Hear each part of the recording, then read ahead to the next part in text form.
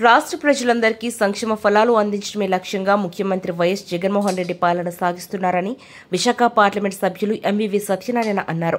MVP colony YCP తూర్పు సమన్వయకర్త అక్రమాని విజయ నిర్మల కార్యక్రమంలో జగనన్నే మా భవిష్యత్తు మా నమ్మకం నువ్వే జగన్ కార్యక్రమంపై ఏర్పాటు చేసిన మీడియా సమావేశానికి ముఖ్య అతిథిగా హాజరైన ఎంపీ మాట్లాడుతూ రానున్న అసెంబ్లీ ఎన్నికల్లో తూర్పు నియోజకవర్గ ఎమ్మెల్యే అభ్యర్థి అక్రమాని విజయ నిర్మలను అత్యధిక మెజార్టీతో గెలిపించాలని కార్యకర్త కార్యకర్తలకు నాయకులకు పిలుపునిచ్చారు. అక్రమాని విజయ నిర్మల మాట్లాడుతూ వైసీపీ ప్రభుత్వం పట్ల ప్రజలు ఎంతో విశ్వాసంతో ఉన్నారన్నారు. రానున్న ఎన్నికల్లో జగన్మోహన్ రెడ్డిని మళ్ళీ ముఖ్యమంత్రిని చేసేందుకు ప్రతి ఒక్కరూ కృషి చేయాలని కోరారు. ఈ సమావేశంలో పార్టీ నాయకులు అక్రమాని వెంకటరావు మొల్లి అప్పారావు తదితరులు పాల్గొన్నారు.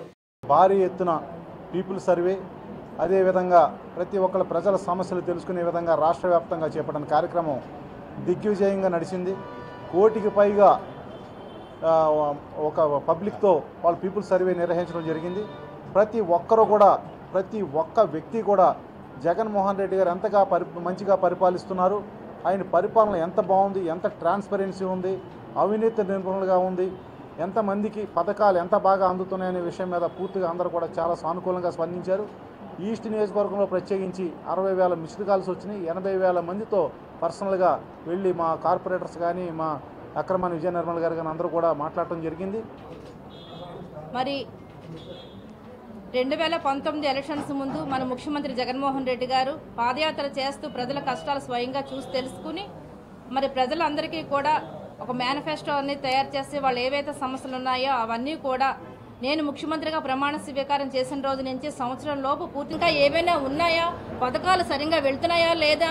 ఎందుకంటే ఈరోజు మేము గడప గడపకి తిరుగుతూ కూడా ప్రజల సమస్యలు ఏమైనా ఉన్నాయని అడుగుతున్నాం. కానీ లేవు అని చెప్తున్నారు. ఈ రోజు మనం వేసినటువంటి గృహసారథులు ఎవరైతే ఉన్నారో మరి ఆ గృహసారథులు అయితే ఆ ఇంటి పక్కన ఉండే వాళ్ళనే వేసాము కనుక వాళ్ళతో చనువుగా మాట్లాడుకునే అవకాశం ఉంటుంది.